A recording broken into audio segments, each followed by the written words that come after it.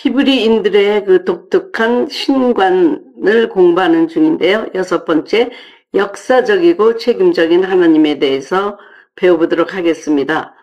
히브리 민족의 신관이 독특한 것은 하나님이 계속 인간의 역사에 개입하시고 있다고 믿는 것입니다. 세상과 인간을 만들어 놓기만 하는 무책임한 하나님이 아니라 우리의 모든 일상을 기도로 교통하시고 관여하시면서 함께 동행한다는 믿음입니다. 그것의 하이라이트가 그리스도가 이 땅에 하나님이시면서 육신으로 오신 것입니다. 역사의 중심으로 하나님이 내려오신 것입니다. 성육신 개념은 어디에서 다른 창세, 소라에서 볼 수 없는 신의 직접적 역사의 개입입니다. 그러나 이신론이라는 것이 있습니다. 띠이즘. 여러분들은 혹시 들어본 적이 있는지 모르지만 철학적이고 이성적인 개념의 이신론이 등장하면서부터 여기서부터 무신론이 성장하기 시작했습니다. 이신론 또는 자연신론은 18세기 계몽주의 시대에 등장한 아, 철학적 이론입니다. 세계를 창조한 하나의 신은 인정하지만 그 신은 창조 이 세상에는 전혀 관여를, 관여를 하지 않는다는 신의 개념입니다. 그 신은 세계와 별도로 존재하며 세상을 창조한 뒤에는 세상 물리 법칙을 바꾸거나 인간에게 접촉하는 인격적 주제자로 보지 않습니다. 그에 따라 계시, 기적 등은 없다고 보는 철학적인 종교관입니다.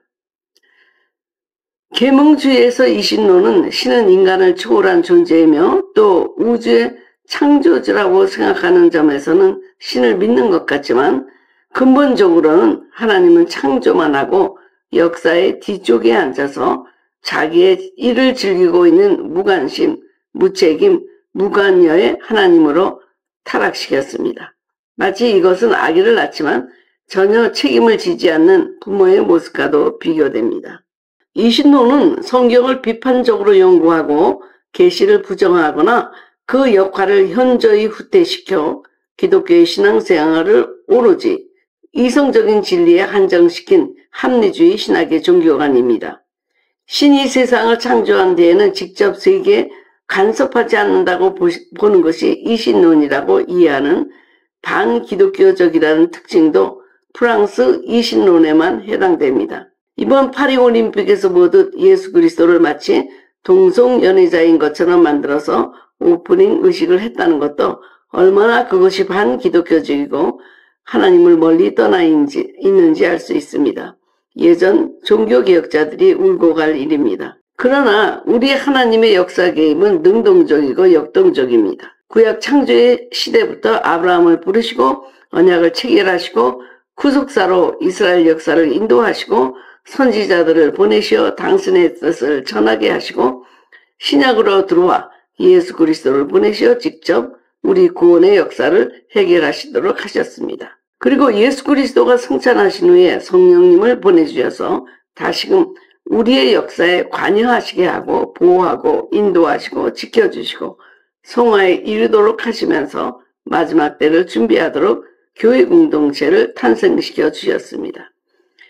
그리고 마지막에 다시 오셔서 악인과 석인을 가르시고 사단의 역사의 종말을 고하며 성도들의 영원한 승리를 약속하셨습니다. 이것은 마치 생생한 어느 역사적인 인물보다 더욱더 역사적이고 책임적인 우리 주 하나님의 특징입니다. 그래서 신비적인 종교와도 차이가 납니다. 신비적인 종교는 신들의 역사 개입이 없지만 신령한 우리 하나님은 직접 역사를 주관하는 증인이 되셔서 앞에서 이끌어 가시고 계십니다.